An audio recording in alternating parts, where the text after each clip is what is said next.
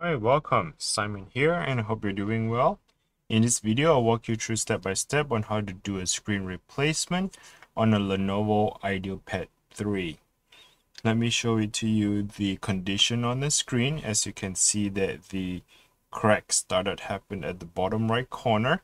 So you see this little black darker line. It is running down to the bottom. So uh, what happened was the ear pod the, the, the headphone was left around the corner right here. So when we shut the screen down and that screen just cracked, um, go against the, uh, the ear pod.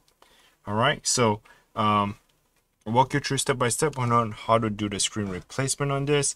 And first, I'd like to identify the model for you. If you flip it around, take a closer look here. It says Lenovo IdeaPad 3 I'm not sure what is the exact model here. It looks like 15L05 or the model name is 81WE. Alright, so let's go ahead and get started. Um, best is to make sure you remove the battery. You can watch one of my video that I do a teardown process and explain how to disconnect the battery or you can just simply by press and hold the power button until the computer is completely shut off. Alright, so no light, no display, the crack happens down here. So let's go ahead and get started, okay?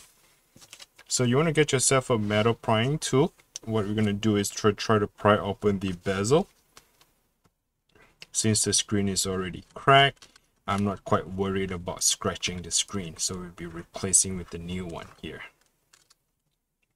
So the bezel is double-sided adhesive tape on it so I'm having some difficulty to pry it open. Let me go ahead and find the weaker spot. It looks like the side here is a lot weaker. It doesn't have the double-sided tape on so you can get underneath that. And let's gently pry it open okay? So you want to pry it at the same time you want to cut the adhesive So on the top of the bezel is a clip on. So you want to pop it out by unclip them. And then at the bottom here is the where adhesive is taping onto it.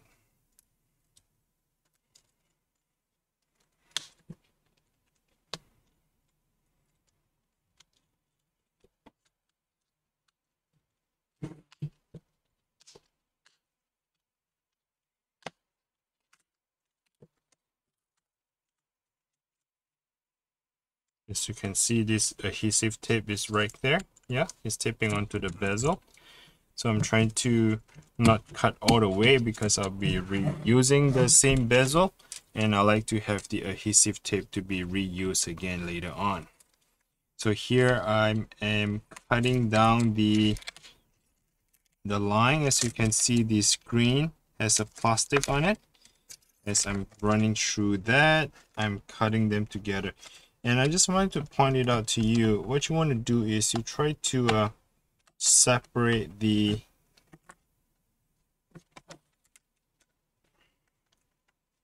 you want to separate the uh, this thing right here if it's possible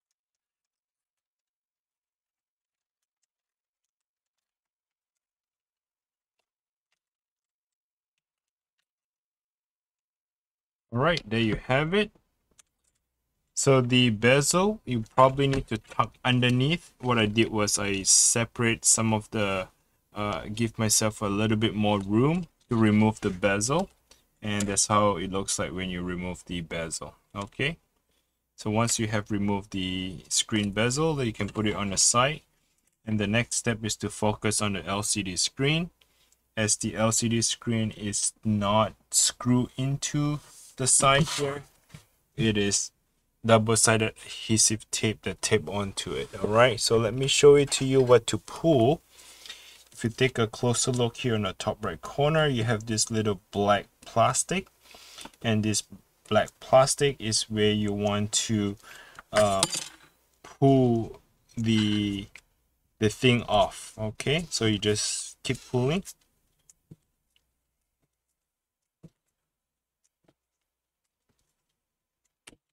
all right once you finish pulling that you're gonna come back and pull on the other side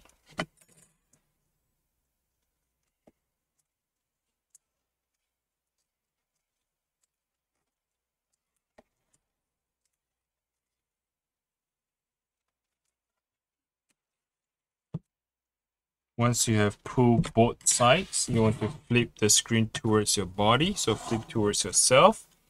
And here is where the uh, 40 pin connector is on. Is it 30 pin connector? Sorry, I might be wrong. It's either 30 or 40. But I have a feeling this is a 40, uh, 30 pin connector. Seems it's a lot shorter. Um, flip it up. You need to flip the clipper open and slide that cable away from your body and that's how you remove it now once you have disconnect the LCD cable you have your entire LCD screen here with you. Let me show you the model number here. The company name is Innolux that built that. The model is N156HGA-EA3 version C2 what I'll do is I'll link them all in the description below where I buy the uh, where I buy the tools from or the LCD sc screen from um, I wanted to link them below where you can uh, click on the link and direct you to Amazon or eBay where you can buy the screen um, without any mistake or any uh, problem with it. Also, you do need to have a double-sided tape. I recommend you to use this red double-sided tape. Uh, you can get the 5 mm. This is a 10 mm, uh, 10 millimeter or 5 millimeter, meaning the the width of the uh, double-sided tape. And what you want to do is you want to re-tape them back together on the side of the uh, the the the top cover. So you need to tape it down, right?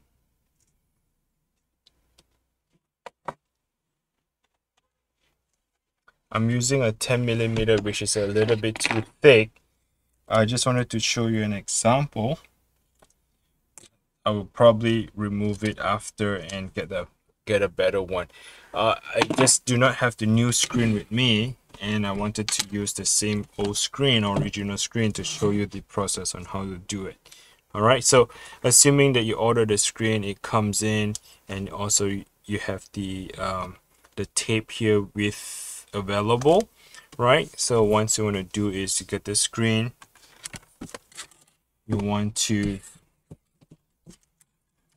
you want to reconnect the cable back together so make sure the clipper is open. And now you want to slide that cable back towards your body so slide it down and secure by pressing down the clipper to latch back on. Put the tape on, right? I know it's ugly. Do not, you know, judge me on that. Like I said, I'm just going to use a better tape, but I'm just giving you an example. You need to have this double-sided tape. Once you have the tape on, let's go ahead and remove that double-sided. Uh, let's remove this.